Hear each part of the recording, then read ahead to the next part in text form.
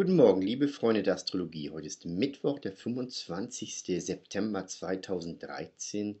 Mein Name ist Norbert Giso. Auch heute haben wir den Mond im Zeichen Zwillinge, ein Luftzeichen, wie auch die Waage, in der sich die Sonne befindet.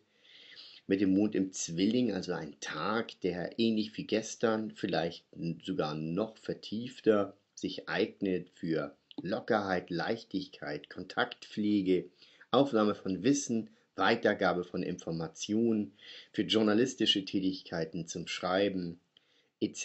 etc. Ähm, morgen am Donnerstag wird der Mond am Abend gegen halb zehn dann in den Krebs wechseln.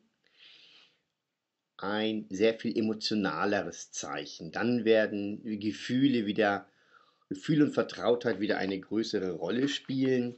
Und im Krebs dann wird der Mond im Quadrat zur Sonne stehen. Das ist dann am Freitag, morgen kurz vor sechs, dann schon wieder das abnehmende, also im abnehmenden Zyklus das Quadrat der abnehmende Halbmond. Ein, eine gewisse ein Konflikt zwischen Sonne und Mond, den wir dann noch besprechen worden, werden. Interessanter ist im Prinzip noch der Lauf der Venus. Venus hier jetzt mittig im Skorpion, im Wasserzeichen Skorpion. Venus, der Planet, der für Liebe, für Beziehung steht, für Kontaktaufnahme, für Harmonie, aber vor allem für Liebe und Beziehung. Im Skorpion sehr leidenschaftlich, introvertiert, auf die inneren Gefühlswelten hin ausgerichtet, wird Venus am Donnerstagabend im Trigon zu Jupiter in den Fisch, äh, im Krebs stehen. Also da kriegt die Venus eine Menge Schwung und viel Energie.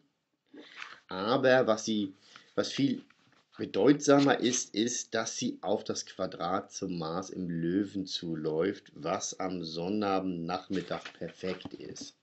Venus, der etwas schnellere Planet, bewegt sich auf die Gradzahl zu, wo sie dann im Quadrat zu Mars steht. Es kommt also zur Verbindung von Venus und Mars im Quadrat.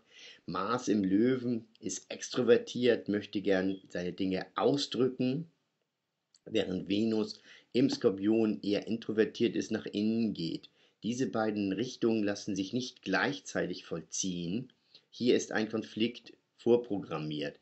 Dieser Konflikt zwischen Venus und Mars spricht halt die archetypischen weiblichen Venus und männlichen Kräfte Mars an, was sich zeigen kann in Streitereien und Auseinandersetzungen in Beziehungen. Vielleicht möchte der eine Teil mehr nach außen gehen, mehr in die Aktivität, mehr in den Ausdruck, der andere Teil ist vielleicht lieber heimlicher oder introvertierter oder innerer haben. Es kann auch ganz andere Themen sein hat aber natürlich auch mit uns zu tun, mit den Kräften in uns, die hier im Konflikt miteinander liegen. Aber dieser Konflikt zwischen Venus und Mars hat auch etwas unglaublich Erotisierendes, sodass also auch sexuelle oder erotische Spannungen eine große Rolle spielen können. Auf jeden Fall ein Aspekt, den man auch nutzen kann zur Kreativität oder um sich auch bewusst zu werden, wo die unterschiedlichen männlichen und weiblichen Anteile in uns oder wie diese angelegt sind. Im Zeichen der Waage geht es natürlich auch immer darum, diesen Dingen, diese Dinge, diesen Dingen eine Brücke zu bauen, einen Ausgleich dafür zu finden. Gut, also dieser Aspekt schwelt sozusagen im Hintergrund und im Vordergrund Mond im Zwilling Heute also die Möglichkeit, locker und leicht mit Leuten in Kontakt zu kommen. Ich wünsche uns allen einen schönen Mittwoch und sage dann bis morgen am Donnerstag und tschüss.